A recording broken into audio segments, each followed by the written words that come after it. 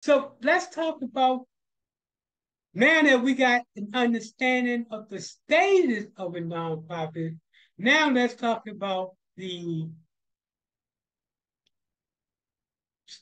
let's talk about what does the funder look for when they fund a nonprofit.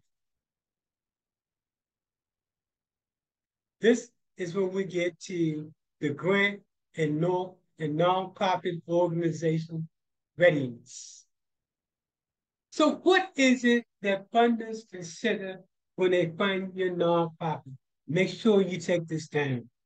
First, they ask the question, what is your organization, what is your organization sustainable financial model?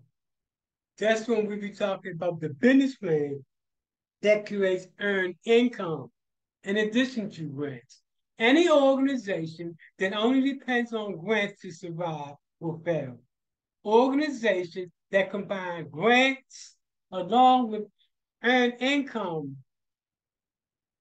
initiative, and that is the initiative that includes starting different businesses that actually you actually get paid for that.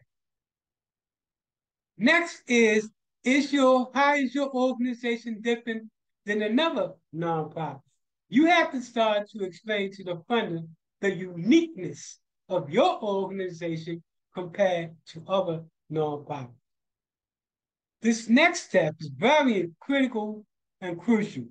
It talks about what's the hard and soft data that support your position of the need of the problem or the problem in your name, name of the, the need of the problem in your community.